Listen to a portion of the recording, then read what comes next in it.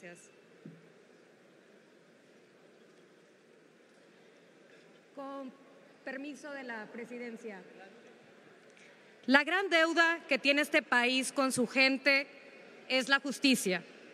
Para las víctimas de la violencia y la delincuencia, para las madres y familiares de personas desaparecidas que con amor y coraje buscan a sus seres queridos por todos los rincones de nuestra patria, para las mujeres víctimas de violencia de género y feminicida, para quienes no alcanzan su derecho a la verdad, ni a la reparación, ni a la repetición, para los más vulnerables.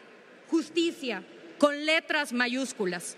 Esta no se termina con el quehacer del Poder Judicial, sino que es responsabilidad de quienes tenemos los medios en el ámbito ejecutivo, legislativo y también en los órganos constitucionales autónomos que aún existen y están amenazados en otras de las reformas en curso. Lograr un efectivo acceso a la justicia significa una reforma integral en todas las tareas gubernamentales que la permitan desde la tarea policial, la procuración a través de las fiscalías, que solo logran el castigo de una fracción ínfima de los delitos que se denuncian. Se necesita fortalecer la labor de las personas juzgadoras en toda la estructura de la que se compone el Poder Judicial, desde el juzgado de distrito en las zonas más humildes hasta la labor que realizan los magistrados y ministros.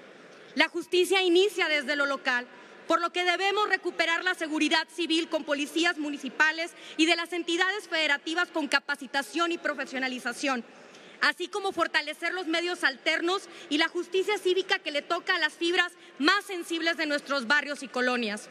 Prevenir la violencia y la delincuencia, recuperar la paz y los territorios ocupados por las redes macrocriminales que azotan a nuestros municipios, abatir la impunidad sistémica y la desigualdad estructural, que son tareas fundamentales de la República requieren una reforma integral al sistema judicial desde una visión de Estado que signifique un cambio profundo a nivel federal, estatal y municipal. Ninguna reforma al Poder Judicial que tenga como sustento el encono por decisiones autónomas e independientes que han representado la defensa de la Constitución en un sano equilibrio y contrapesos en derechos y libertades resuelve la falta de acceso a la justicia para las personas más vulnerables y desprotegidas. Por ello rechazamos una reforma del bloque mayoritario que camina hacia la captura del único poder sobre el que no tienen control. Rechazamos los contenidos que convertirán al Poder Judicial en una diputación jurisdiccional que será utilizada políticamente, disponiendo de recursos humanos y materiales para ahondar la polarización de nuestro país. Y no acompañaremos esta reforma judicial que en conjunto con la reforma militar y la eliminación de los organismos constitucionalmente autónomos van encaminadas a destruir nuestra democracia por lo que el Grupo Parlamentario de Movimiento Ciudadano en plena conciencia y convicción votará en contra. Hoy estamos votando por terminar con la carrera judicial de nuestros jueces y juezas, magistrados, ministros y ministras de la Suprema Corte, castigándolos por hacer su trabajo independiente y con base en nuestros principios constitucionales. Hemos visto cómo se les insulta con acusaciones generalizantes de corrupción y nepotismo por quienes han demostrado no tener la calidad moral pues han traicionado las luchas de la izquierda que nos permitieron construir instituciones de contrapeso al antiguo sistema del partido hegemónico y de Estado al que hoy están regresando a nuestro país vertiginosamente. Triste herencia dejarán a las generaciones futuras que deberán reiniciar la lucha por equilibrios entre poderes, derechos y libertades. José María Morelos y Pavón dijo que todo el que se queje con justicia tenga un tribunal que lo escuche, lo ampare y lo proteja contra el fuerte y el arbitrario.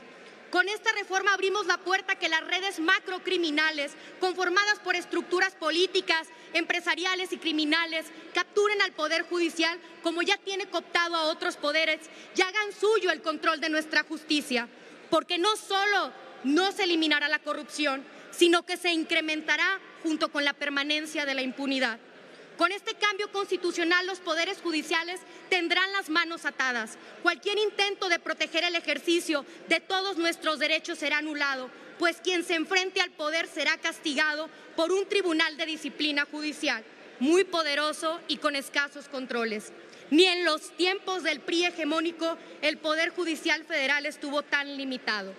Hoy es un día en el que podemos elegir entre la preservación de la justicia para todos y todas y la democracia o la continuidad de una era autoritaria de corte militarista con retrocesos y depredación institucional.